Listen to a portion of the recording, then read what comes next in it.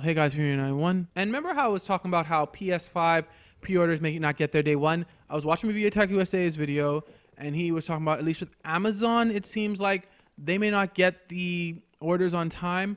Apparently, his YouTube friend Vera Dark, and I'm not gonna say exactly what he said, but basically was like, "Did you get an email from Amazon saying that your Xbox Series X may not arrive on time?" He didn't get his from Amazon, so but it would seem that if you got it from Amazon, it may not be arriving on time. And this is just what happens, guys. I mean, I don't understand exactly.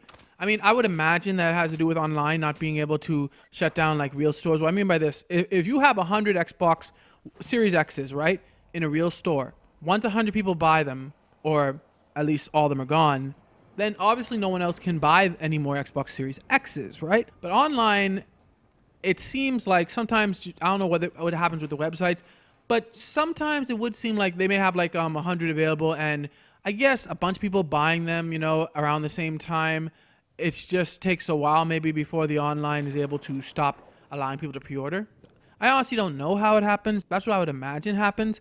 But for whatever the reason, it would appear that Amazon may not give you your pre-order on time when it comes to the Xbox Series X. They haven't specified whether it's going to be the Xbox Series S, according to comicbook.com. They have, but it's presumed that this will also happen with the Xbox Series S as well. Yeah, and I understand some YouTubers who maybe were trying to do an unboxing opening day. That may not happen, unfortunately, if you order from Amazon.